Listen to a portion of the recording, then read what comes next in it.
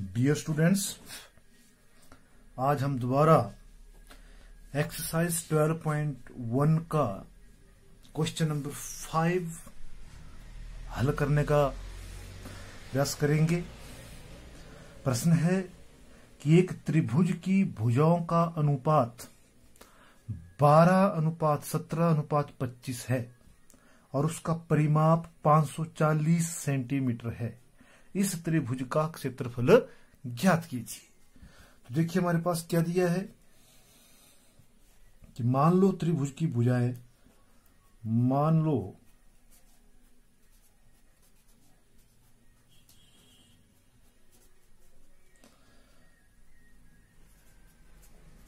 त्रिभुज की भुजाएँ, क्योंकि अनुपात में दी है तो इसको मान लेंगे? त्रिभुज की भुजाएँ हैं। रेशो में है बारह एक्स, सत्रह एक्स और पच्चीस एक्स। ये हमने क्या मान ली? त्रिभुज की कोई भुजाएँ हैं। तो हमारे पास क्या दिया है? त्रिभुज का परिमाप। त्रिभुज का परिमाप। जो पेरीमीटर हमारे पास दिया है दिया है हमारे पास। 540 सेंटीमीटर। दिस एम्पलाइज परिमाप हमें पता है कि त्रिभुज का परिमाप, त्रिभुज की भुजाओं के माप के, कुल माप के योग के बराबर होता है। That is 12x x plus सत्रह x plus twenty five x is equal to 554 centimetre और प्लस किया, हमारे पास बन गया 54x x is equal to 540 centimetre और x is equal to 540 upon 54 is equal to 10 centimetre. यहाँ से हमारे पास भुजाओं का माप निकल जाएगा। इसलिए त्रिभुज की भुजाएँ होंगी। Therefore the side of triangles are is equal to twelve into x that is twelve into x that is ten seventeen into ten and 25 into 10 is equal to 120 170 and 250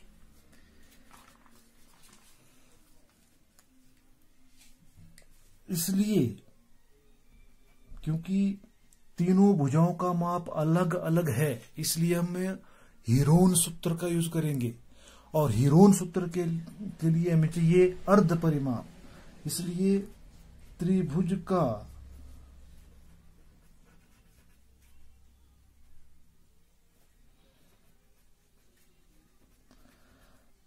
अर्ध परिमाप semi perimeter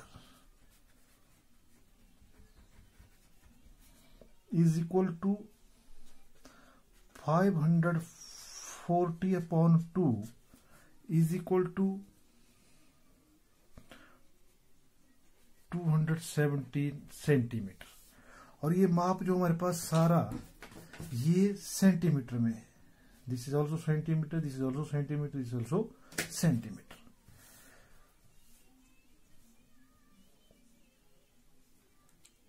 इसलिए त्रिभुज का क्षेत्रफल बराबर है under root s into s minus a into s minus b into s minus c यहाँ पर हमने क्या किया? Using Heron's formula using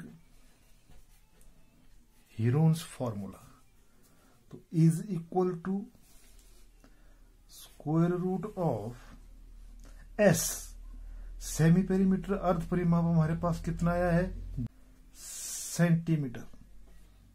270 hundred seventy into two hundred seventy minus a is the first side of the triangle that is one hundred twenty into two minus one hundred 270 minus C, that is that is 250 सारे के ऊपर वर्गमूल है। Is equal to हल कर दिया। 270 270 में से 120 गए। हमारे पास बचे 150 270 में से 170 गए। 100 बचे। और 270 में से 250 गए हमारे पास 20 बचे। अब यहाँ पर हम इसको सॉल्व कर देंगे। या तो हमारे पास दो तरीके सबको गुणा करें और भाग भी विधि द्वारा वर्गमूल ज्ञात करें, या गुणखंड विधि द्वारा हम इसको हल कर सकते हैं। तो देखिए 270 को हम लिख सकते हैं।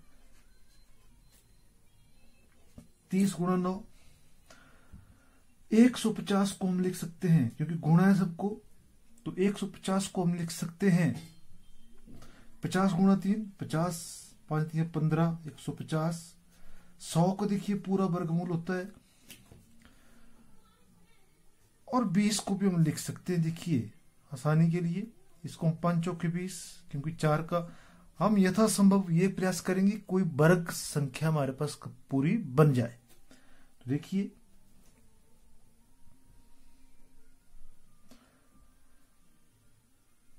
इसको हम लिख सकते हैं वर्गमूल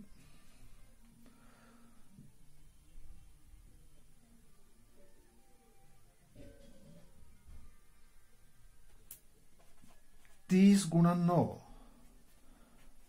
पचास गुणा तीन, थोड़े इसको भी हम तोड़ दें, दस दस सौ, गुणा पाँच, गुणा चार।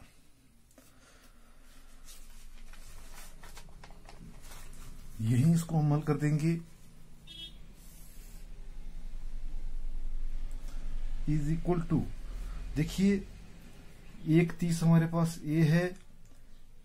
इस और इस संख्या को हम गुणा कर, करेंगे तो हमारे पास बना दस या तीस। तो हम इसको लिख सकते हैं क्योंकि तीस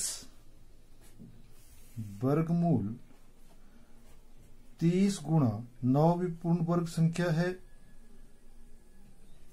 पचास गुणा, तीस गुणा दस, गुणा पाँच, गुणा चार। देखिए, एक तीस ये है, एक तीस ये है। पूरी वर्ग संख्या है तो वर्ग से बाहर आ जाएगा। नौ पूरी वर्ग संख्या है, तीन तीन नौ। चार पूर्ण वर्ग संख्या है तो बाहर आके हमारे पास दो बनेगा तो ये भी हो गया। हमारे पास अंदर बचा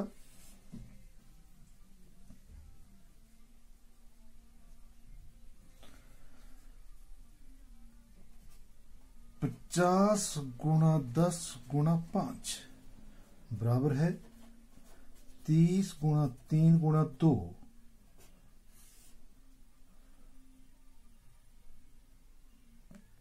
पाँच पाँच पच्चीस,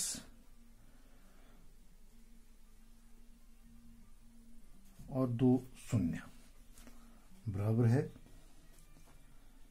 तीस गुणा तीन गुणा दो गुणा पाँच, पच्चीस सौ का वर्गमूल हमारे पास पचास बराबर है।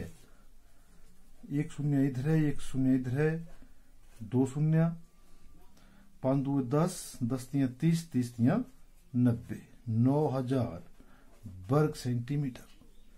तो इस एक्सरसाइज के हम सभी प्रश्न ऐसे ही हल करेंगे।